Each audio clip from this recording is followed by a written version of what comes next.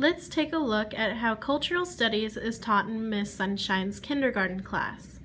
Okay students, today we're learning about cultural studies and how that pertains to our families. So, I drew a picture of my family. Why don't you guys draw pictures of your families?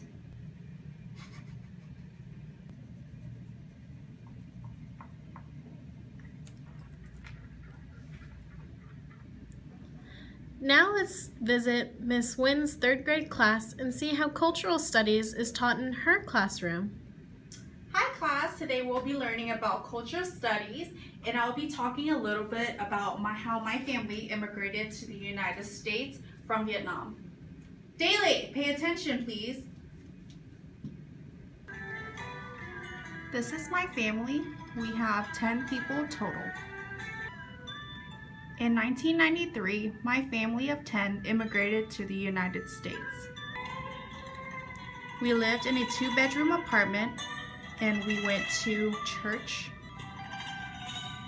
Three of my brothers became very ill and had to have brain surgery. We were all ESL students. My parents got their citizenship in 2015.